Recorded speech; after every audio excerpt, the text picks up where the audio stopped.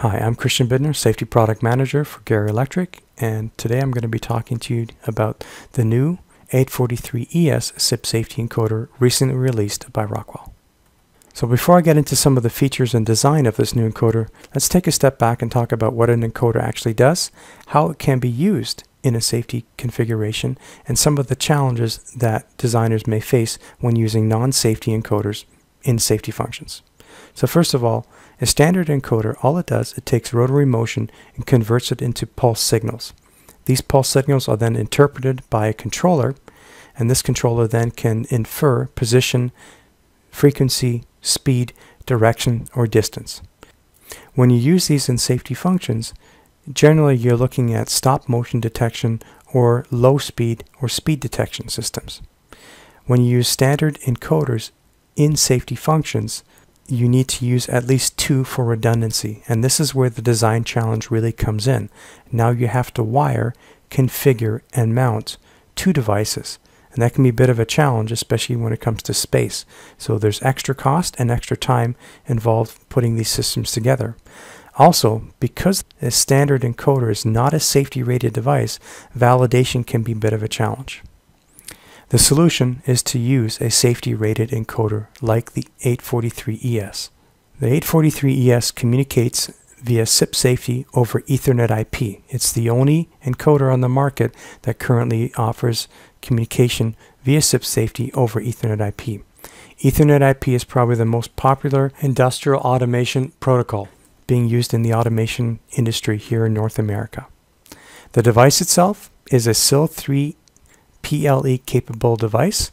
It has an IP67 housing, which means it can be used for washdown applications and in the food and beverage industry. Mounting considerations can be servo mount, solid, or hollow shaft designs. There are single or multi-turn resolutions and pulse configurations available. The device itself is an absolute encoder, meaning if, if power is lost to encoder, it will not lose its positioning. In order to configure this device, Proposal Works can walk you through the steps. In order to use this device or communicate to, to, this device, you need to ensure that you're using the most up-to-date Studio 5000 software, usually version 31 or later, and that you also have downloaded the add-on profiles in order to set up communication. The device right now will only communicate to compact GuardLogix or GuardLogix systems of the 5580 and 5380 variety. Notice on the picture that there actually are two Ethernet ports that you can directly connect to. Here's an overview when you're working in Studio 5000 of how you can use this new information that's coming across from the 843ES. To be clear, once again, GuardLogix 5580 controller and Compact GuardLogix 5380 are currently the only controllers that will support communication to the 843 CIP safety encoder. New instructions box have now been added to Studio 5000 that are TUV certified and can perform up to SIL3 PLE monitoring and stop functions.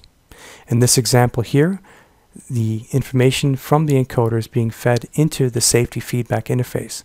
This interface will then send out actual position, home position, and actual speed position to Safe Stop 1 add-on instruction block.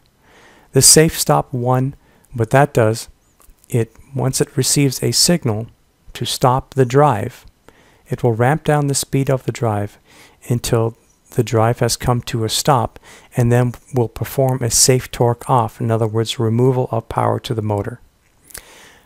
Other functions that are now available in Studio 5000 with Kinetix 5700 are Safe Stop 2, Safe Operating Stop, safe limit speed, safe position, safe direction.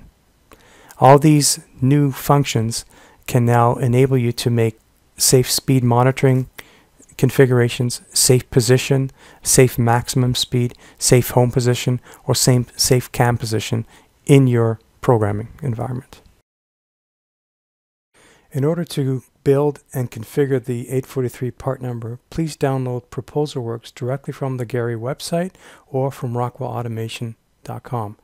The add-on profiles in order to make the product communicate are available from the product compatibility and download website And lastly, the user manuals and installation guides are also available via the link you see here or from the Rockwell Automation website. I'm Christian Bidner, Safety Product Manager for Gerrie Electric, and if you have any questions, please feel free to contact me at gerrie.com.